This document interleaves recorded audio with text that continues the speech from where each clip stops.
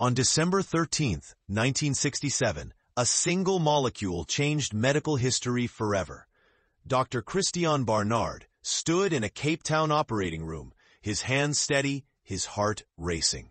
54-year-old Louis Washkansky lay unconscious, his failing heart a ticking time bomb. Beside him, a young woman named Denise Darvall had just been declared brain dead. Her heart would become humanity's first successful human heart transplant. The surgery was radical, unprecedented. No one knew if the human body would accept a stranger's heart. Barnard knew he was either about to make medical history or commit an elaborate public failure.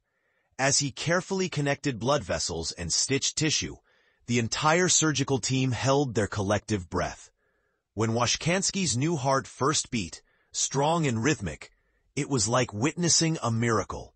The recipient survived for 18 days, proving that human organs could be transplanted between bodies.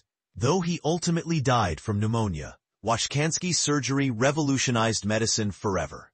One heart, two lives, a moment that transformed human understanding of healing, mortality, and the extraordinary potential of medical science.